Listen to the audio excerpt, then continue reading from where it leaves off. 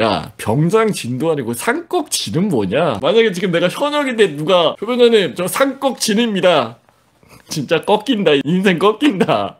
꿀보직 썰만 듣다가 너무 빡쳐서 사연 보냅니다 이 헬보직을 또 봄으로 또 우리 현역분들께서 상대적으로 또 힘을 낼 수가 있잖아. 리땡땡님께서 이제 보내주셨는데 안녕하세요 자손이 형 저도 썰 좀 풀까 하고 보냅니다. 저는 14년 12사단 수색 대대에서 복무했습니다. 처음 102보에서의 3박 4일 그리고 마지막 날 밤 배정받은 신교대와 자대 둘 다 12사단 생전 처음으로 12사단에 대해서 알아보던 중 최전방이라는 걸 알게 됐습니다. 동질감을 느낍니다. 12사단 위치는 자손이 형옆 부대 오른쪽으로 인제 원통 부대입니다. 인재감이 언제 오나 뭐 원통에서 뭐 이제 그런 말도 있어요. 그땐 50문 50답이라고 하는 노란색 책을 준다고 해요. 그래서 부소대장이 말하기를 니들 이거 잘 써야 된다. 우리 사단은 이 책을 보고 우수한 인원은 부대에서 착출해 간다. 라고 해서 정말 예쁜 글씨로 꽉꽉 채워서 썼습니다. 그땐 제가 생각했던 가장 꿀은 의무대대라고 생각했고 제발 의무대대에서 날 데려가 주길 기도하던 나날 중 드디어 제게도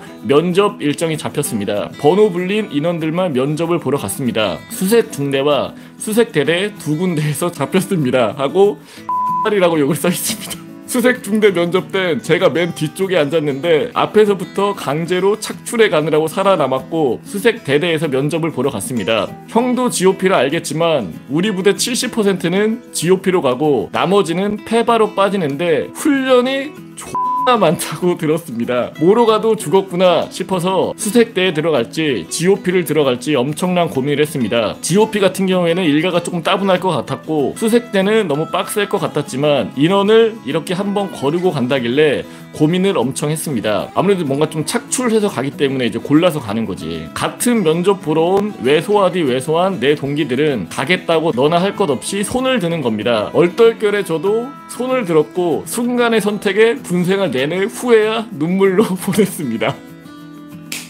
보통 이게 처음에는 이제 정확한 내용을 모르니까 다들 이제 손 들면 이제 거기가 이제 좋을 것 같다고 생각을 하기 때문에 같이 이제 손을 들어버린 거야. 그것을 이제 크게 후회를 한 거지. 수색대에 대해 간단하게 말씀드리겠습니다. 자대 배치되면 대대 신병들을 데리고 4박 5일간 집중 체력 단련이라는 명목으로 특공 부수를 개빡세게 가르칩니다. 절대 타선인가 말도 섞어선 안 되며 잠자는 시간 빼고 무한 얼차려를 받습니다. 밥 먹으러 갈 때 오리걸음으로 기억하고 밥 먹고 유격체조 그리고 찍고와 오리걸음 어깨에 걸고 앉았다 일어났다 등등 온갖 얼차려를 받으면서 특공 부수를 배우고 마지막 대대장님 사열과 함께 민정경찰 그리고 수색대대 흉장을 전투복에 받고 끝이 납니다. 이거 받으려고 4박 5일 훈련했다 생각하면 눈물밖에 안 흐릅니다. 조금 더 자세하게 좀 얘기를 해준 게 있어요. 수색대는 GOP처럼 전방, 후방 교대 근무를 합니다. 전방에 나가 있을 땐 3일에 한 번 수색 그리고 3일에 한 번 매복을 하는데 인제 원통산이 존나 험난합니다.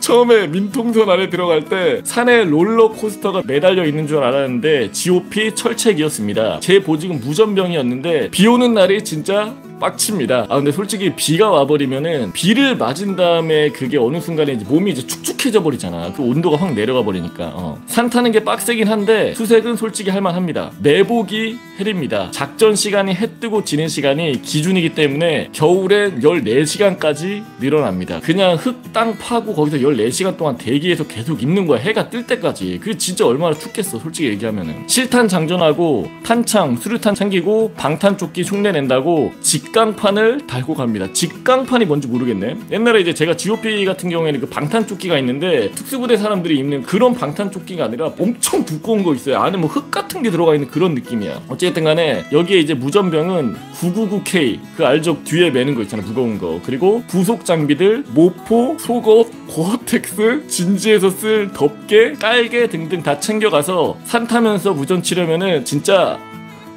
나 힘듭니다.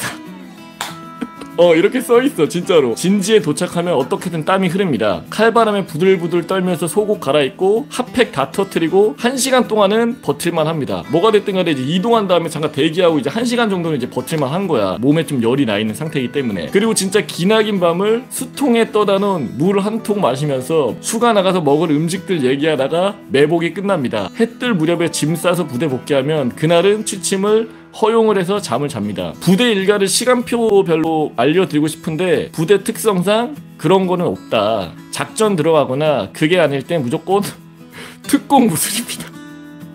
특공 무술은 도대체 어떻게 생겨 먹은 걸까? 간부들도 시간 때우기 제일 만만한 게 특공 무술이라서 작전이 안 들어가는 날은 오전 오후 특공 무술을 하거나 작업으로 때웁니다. 뭐 여러분도 아시겠지만 이제 뿔보제이 분들 같은 경우에는 대부분 뭐 싸지방이나 아니면 이제 족구나 핸드폰 같은 거 이제 많이 보잖아. 이분은 특공 무술이야. 어, 헬보직은 달라. 왜 이런 문화가 생겼는지 모르겠는데 작전 들어가서 산타다가 지쳐서 퍼지는 걸 굉장한 이제 수치라고 여깁니다. 그러니까 행군 같은 경우도 이제 행군을 하다가 이제 낙오하거나 아니면 퍼지게 되면 사실은 이제 부대 복귀에서 고참들한테 엄청나게 쌍욕을 먹는데 이제 그런 부분들이 좀 체력이 부족하다고 생각을 해서 그랬는지 는 모르겠지만 엄청나게 이제 수치라고 여긴다라고 하는 거야. 그래서 이제 자기가 체력이 딸린다 싶은 전우들을 저녁 먹고 개인 정비 시간에 연병장을 달리게 합니다. 체력 좋은 선임들이 달리면 눈치 보여서 혹은 작전하다 퍼지기 싫어서 다들 목숨 걸고 달리고 씻고 오면 하루가 끝납니다. 유유 이렇게 돼 있어.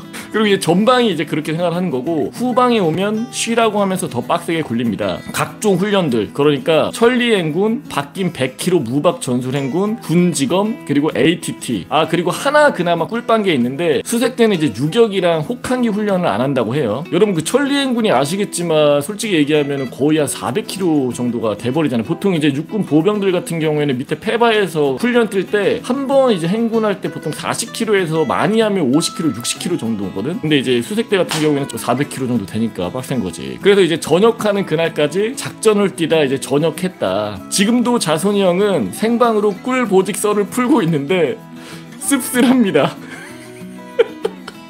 그래도 건강히 전역했으면 된 거죠. 지금도 우리나라를 지키고 있는 군인분들 화이팅입니다. 유유 남겼어.